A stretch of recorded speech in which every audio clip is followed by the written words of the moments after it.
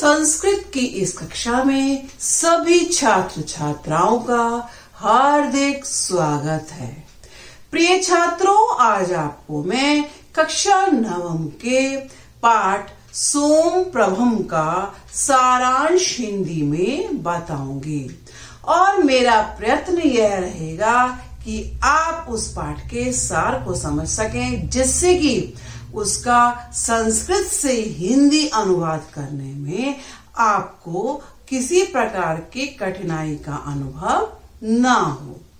तो सर्वप्रथम मैं आपको बताना चाहूँगी कि इसके लेखक कौन है? इसके लेखक हैं राधा वल्लभ त्रिपाठी। और यह एक एकांकी है। एकांकी हम किसको बोलते हैं? एक अंकों का एक अंक का जो नाटक हो, वह एकांकी कहलाता है। तो सोम प्रभम भी सिर्फ़ एक अंक का है। और राधा वल्लभ त्रिपाठी का एक नाट्य संग्रह था, जिसका नाम था प्रेक्षण सप्तकम। तो उसमें से ही इस नाटक, इस एकांकी सोम प्रभम को आपके पाठ्यक्रम में रखा गया है। तो यह नाटक, यह एकांकी मुख्य रूप से दहेज प्रथा पर आधारित है। आइए, अब हम इस नाटक का सार देखें क्या है। लेकिन उससे पहले हमें यह भी देखना पड़ेगा कि इसके मुख्य पात्र कौन कौन से हैं। देखिए, बिमला। बिमला कौन है? कि एक बहू है और आप ये मान लीजिए कि एक मुख्य पात्र है, कहानी पूरी उसी के चारों तरफ़ घूमती है। उसके बाद सोम प्रभा सोम प्रभा विमला की बेटी है। तीसरा इसमें दिखा रहे हैं पात्र तीन और चार एक साथ लिखे हैं मैंने, सास ससुर, विमला के सास ससुर, जो बहुत क्रूर हैं और दहेज लोभी हैं। और पांचवा आता है पुर, पुरुष निरीक्षक। ये कौन है? ये पुलिस सुप्रिंटेंडेंट आप कह सकते हो वह है जिसका रोल जिसकी भूमिका अंत में आएगी और नाटक को एक प्रभावशाली अंत देगी। तो अब हम शुरू करते हैं इसकी स्टोरी इसकी कहानी। क्या है इसमें? कि नाटक की शुरुआत होती है कि सुबह सुबह का समय है और बिमला घर के कार्यों में लगी हुई है। तभी उसकी बेटी, जो कि लगभग पाँच वर्ष की है, आँखें मलती हुई बाहर आती है। तो बिमला उससे बोलती है, शीघ्रता करो, तुम्हें विद्यालय जाना है। लेकिन बच्ची छोटी है, उसका विद्यालय जाने का मूड ही नहीं है। पर माँ का कहना है कि विद्यालय जाना तो ज़रूरी है। अभी वो प्रातःकालीन अन्य कार्यों में लगी हुई है, बिमला, तभी उसको अपनी सास की करकश आवाज़ सुनाई देती है, जो उससे पूछती है कि वो कहाँ है और क्या कर रही है। तो वो उसका कहना होता है कि मैं सुबह के सभी क्रियाकलापों को कर रही हूँ, सभी कार्यों को पूरा करने का प्रयत्न कर रही हूँ। सास का कहना है अच्छा सुबह के काम कर रहे हो तो सुबह की चाय कहाँ है? चाय तो नहीं बनाई तुमने अभी। अब चाय की तैयारी में भी वो है।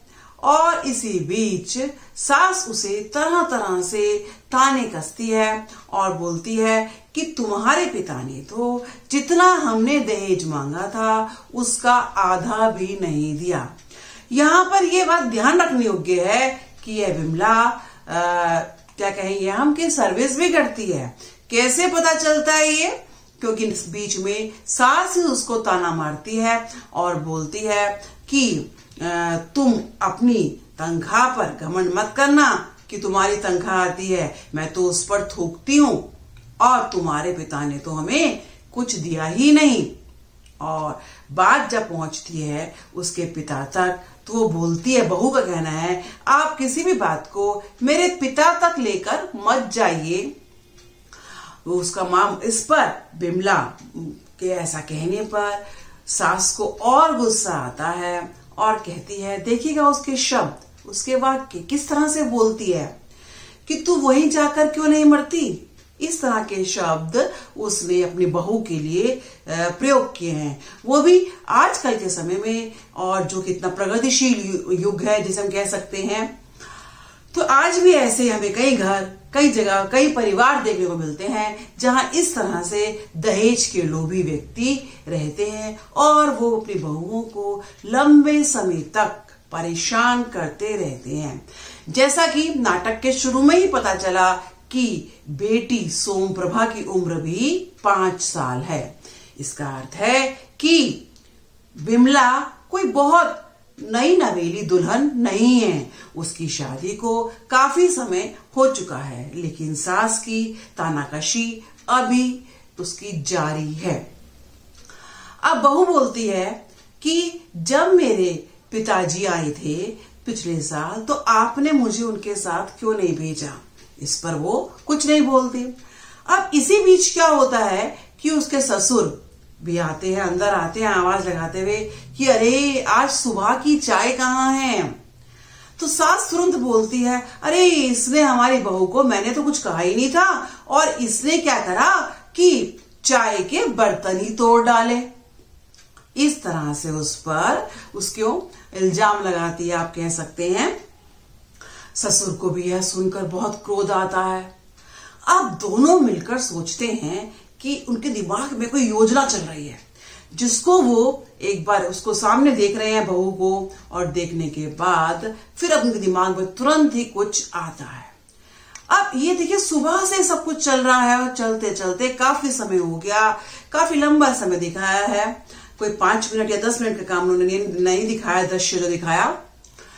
उसकी बेटी, विमला की बेटी सोम प्रभा जो विद्यालय गई थी, अचानक से घर लौट आती है और माँ की इस दशा को देखकर कि अभी तक तानाकशी चल रही है, माँ को मेरी माँ को परेशान कर रहे हैं मेरे दादा दादी। वो बहुत परेशान होती है।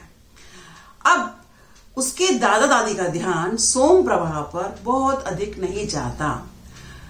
वो क्या करते हैं उसकी माँ बिमला को, सोम प्रभा की माँ बिमला और उनकी बहू बिमला को दोनों एक साथ पकड़ लेते हैं और पकड़कर अंदर ले जाते हैं। तो बिमला चिल्लाती रहती है कि मुझे मत मारो, मुझे मत पीटो। और बेचारी वो छोटी सी सोम प्रभा बोलती है बहुत धीमे से, माँ, इस तरह से वो कहकर रह जाती है, लेकिन कुछ कर नहीं पाते।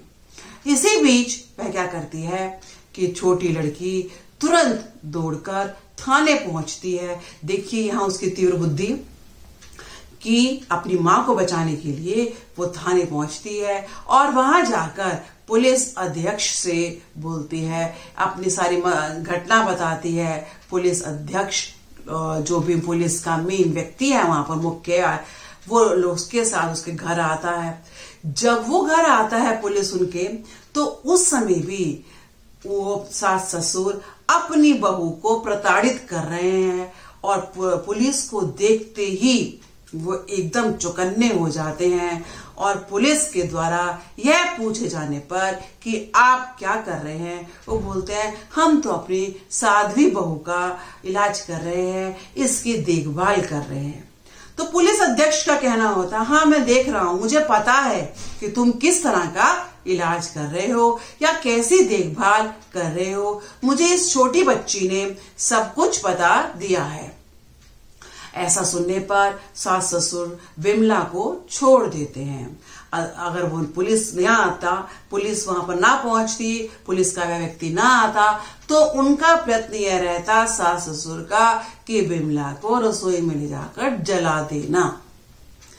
तो वो तो छोटी बच्ची की बुद्धिमती थी वो लड़की छोटी उसकी बुद्धिमता थी वो कि उसने इस तरह से अपनी माँ को दुष्टों के जाल से बचाया। अब बच्ची से उसकी माँ पूछती है तुम आज जल्दी कैसे आ गई? इस पर वो बच्ची बोलती है कि, माँ, मेरा बैग भी फट गया था, जूते फटे हुए थे, सब कुछ अस्त व्यस्त था। इसलिए अध्यापिका ने मुझे घर जाने को कहा, कक्षा से निकल जाने को कहा और इसीलिए मैं घर चली आए अब माँ अपनी बच्ची को गोद में लेती है और चूमती है, साथ साथ बोलती है, ये तुम्हारी बहादुरी थी, ये तुम्हारा प्रशंसनीय कार्य था, जिसके कारण मेरी जान बच गई। और यहाँ आकर यह एकांकी समाप्त हो जाता है। तो ये थी हमारी कहानी इस एकांकी की। उम्मीद करती हूँ कि आप सबको ये बहुत सहायक सिद्ध होगी पाठ को समझने में। आज के लिए बस इतना ही। अगली वीडियो में हम फिर मिलेंगे कुछ नया लेकर। आप मेरे वीडियो को शेयर कीजिएगा, सब्सक्राइब कीजिएगा, चैनल को, बेल आइकन को भी प्रेस कीजिएगा।